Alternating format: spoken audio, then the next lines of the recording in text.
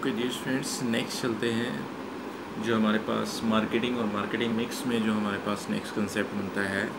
तो नेक्स्ट है हमारा एलिमेंट्स ऑफ़ मार्केटिंग मिक्स इसे कहा जाता है विपणन, मिश्रण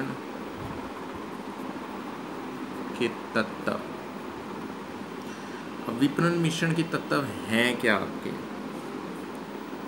अब मार्केटिंग मिक्स में मैंने बताया था कि मार्केटिंग मिक्स क्या है? डिफरेंट डिफरेंट पॉलिसीज़ हैं, जो एडोप करता है कोई भी बिजनेसमैन अपनी प्रोडक्ट को सक्सेसफुल बनाने के लिए या अपने बिज़नेस को आगे और ज़्यादा बढ़ाने के लिए, उसकी ग्रोथ करने के लिए। अब यहाँ पर अगर देखें मार्केटिंग मिक्स में कौन कौन से एलिमेंट्स आते हैं?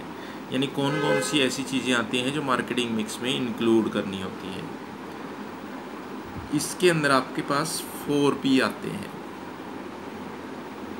इन्हें कहा जाता है फोर पी ऑफ़ मार्केटिंग ये सारे एलिमेंट्स माने जाते हैं। अब फोर पी कौन से हैं? फोर पी हैं आपके।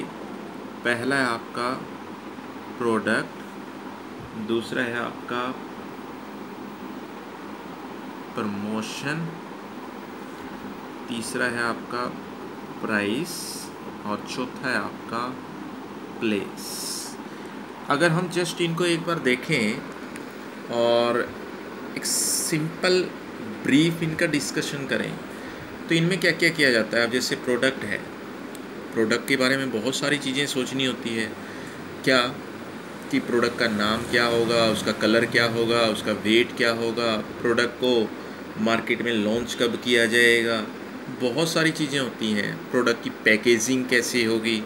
अब कई बार पैकेजिंग के ऊपर जो पैकिंग होती है प्रोडक्ट की पैकिंग के ऊपर भी प्रोडक्ट डिपेंड करता है। अगर पैकिंग अच्छी होती है तो प्रोडक्ट मार्केट में सेल ईजिली हो जाता है। प्रमोशन है। प्रमोशन कैसे की जाएगी? यानी प्रमोट कैसे किया जाएगा प्रोडक्ट को? कौन कौन से मेथड यूज़ किए जाएँगे प्रमोट करने के लिए? कि मार्केट में उसकी सेल बढ़ानी है। सेल बढ़ाने के लिए कस्टमर्स को इन्फॉर्मेशन देने के लिए कि ये नया प्रोडक्ट मार्केट में आया है तो उसको बताने के लिए कौन कौन से नए नए मेथड यूज़ किए जाएँगे, ये है आपका प्रमोशन प्राइस अब प्राइस पॉलिसी भी यूज़ करनी पड़ती है, ये भी मार्केटिंग मिक्स का एक एलिमेंट है. प्राइस पॉलिसी क्या है कि प्राइस कितना रखा जाए प्रोडक्ट का? अब प्राइस ऐसा होना चाहिए प्राइस के लिए भी बहुत सी चीज़ें ध्यान में रखनी पड़ती हैं माइंड में बहुत सी चीज़ें सेट करनी पड़ती हैं प्रोड्यूसर को या सेलर को कि प्राइस ऐसा होना चाहिए जो आपको प्रॉफिट दे दे। लेकिन साथ में ये भी सोचना पड़ता है कि प्राइस ऐसा भी हो जो कंपटीटर जितने हैं, या तो उनके इक्वल ही हो या उनसे कम हो। अगर उनसे ज़्यादा होगा तो आपका प्रोडक्ट कस्टमर क्यों परचेज़ करेगा? फिर उसके पीछे रीज़न आपको बताना पड़ेगा। प्लेस कि आप एक आइटम को एक जगह से दूसरी जगह कैसे पहुंचाएँगे? यानी स्थान क्या होगा उस उत्पाद का? कि कई बार समस्या क्या आती है कि प्रोडक्शन प्लेस प्रोडक्शन पॉइंट अलग होता है और कंजप्शन पॉइंट अलग होता है। उस केस में आ जाता है हमारे पास प्लेस तो मार्केटिंग मिक्स के ये चार एलिमेंट होते हैं आपके।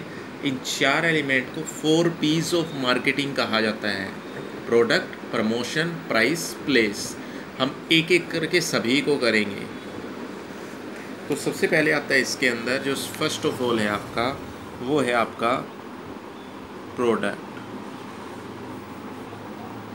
अब ये कहता है प्रोडक्ट से रिलेटेड हमें बहुत सारे डिसीजंस करने पड़ते हैं। कौन कौन से? जैसे जैसे प्रोडक्ट का नाम क्या होगा? सबसे पहले प्रोडक्ट का नाम क्या होगा? कलर क्या होगा? उसके बाद उसका डिज़ाइन क्या होगा? उसके बाद उसकी क्वालिटी कैसी होगी? उसके बाद अगर देखें, उसकी पैकेजिंग कैसी होगी? वेट क्या होगा प्रोडक्ट का? ये सारे के सारे डिसीजंस हमें प्रोडक्ट के बारे में लेने पड़ते हैं। तो ये कहता है यहाँ पर अगर देखें, कुछ चीज़ें ऐसी हैं जो आपकी प्रोडक्ट के लिए बहुत ज़्यादा इम्पोर्टेंट होती हैं। कौन कौन सी? एक तो ब्रांडिंग एक आपका पैकेजिंग एक लेबलिंग देखते हैं एक एक करके तीनों चीज़ें करेंगे। सबसे पहले आते हैं ब्रांडिंग पर।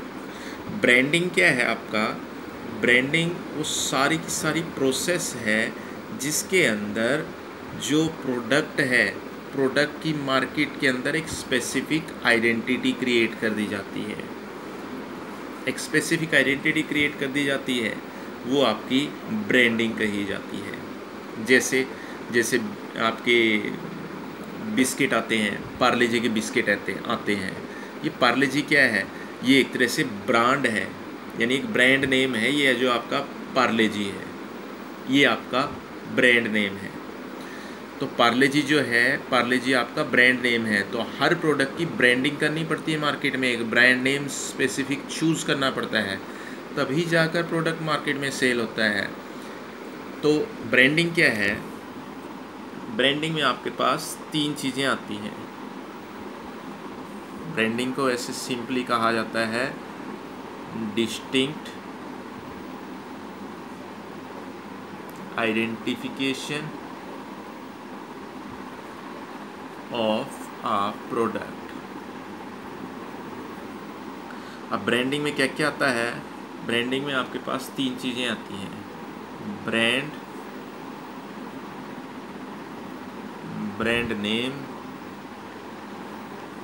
और तीसरा आता है ब्रांड मार्क। अब ये तीनों चीज़ें क्या हैं? सबसे पहले देखें, ब्रांडिंग क्या है? Distinct identification of a product, यानी एक उत्पाद की दूसरों से अलग पहचान है। डिस्टिंक्ट आइडेंटिफिकेशन अलग पहचान है दूसरों से। जैसे जैसे शूज़ में अगर देखें, रिबोक का शूज़ भी आता है आपका एडिडास का भी आता है, वुडलैंड का भी आता है, आपका लखानी का भी आता है, आपका रिलैक्सो का भी आता है। ये क्या है? ये आइडेंटिफिकेशन है। है सारे शूज़ ही, लेकिन सबका ब्रांड नेम अलग अलग है। तो ये ब्रांड नेम ये क्या है आपका? ये आपका सारा का सारा जो ब्रांड हैं, ब्रांड के अलग अलग नेम रखे गए हैं। अब उसके बाद ये कहता है कि ब्रांडिंग एक्चुअल में है क्या? मार्केट में ब्रांडिंग एक स्पेसिफ स्पेसिफिक या एक स्पेशल आइडेंटिफिकेशन क्रिएट करने के लिए है, जो ब्रांडिंग है आपका।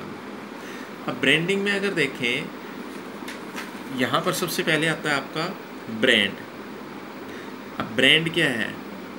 ब्रांड आपका कोई एक वर्ड हो सकता है, या कोई एक जो ब्रांड है फ़र्स्ट ऑफ़ ऑल जो ब्रांडिंग में आता है जो ब्रांड है ब्रांड आपका क्या है? ये आपका कोई वर्ड हो सकता है स्पेसिफिक या एक मार्क हो सकता है?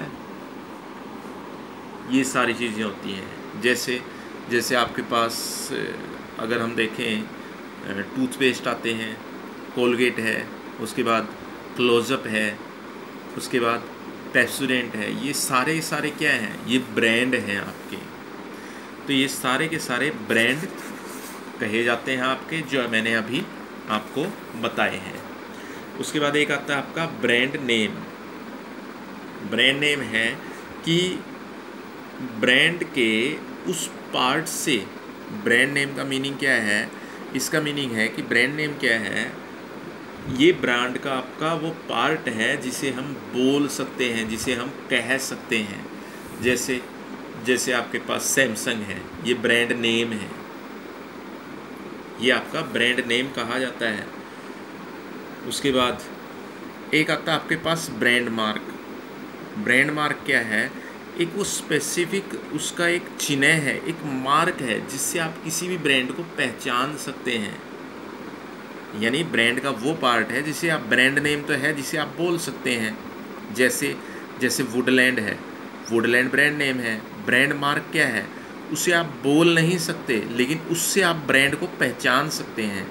जैसे वुडलैंड के शूज़ अगर आपने देखे हो कभी, वुडलैंड के शूज़ पे ब्रांड नेम तो वुडलैंड है, और ब्रांड मार्क क्या है, वुडलैंड के शू पे अगर आप देखेंगे, वहाँ पर आपको एक पेड़ मिलता है, कुछ इस टाइप का। वो क्या है, वो ब्रांड मार्क है, आप उसे बोल नहीं सकते। लेकिन वो मार्क वो आइडेंटिफिकेशन है उस ब्रांड की। नाइकी का शूज़ देखा है। बोल तो सकते हैं एन आई के ई नाइकी तो वो क्या है? वो आपका जो नाइक का शूज़ है, वो आपका ब्रांड नेम है। ब्रांड मार्क क्या है? ब्रांड मार्क है, उसके ऊपर टिक का निशान लगा होता है शू के ऊपर। और देख सकते हैं, अगर आपने कभी एप्पल का फ़ोन देखा हो तो एप्पल के जो फ़ोन आते हैं तो ब्रांड नेम क्या है? एप्पल है।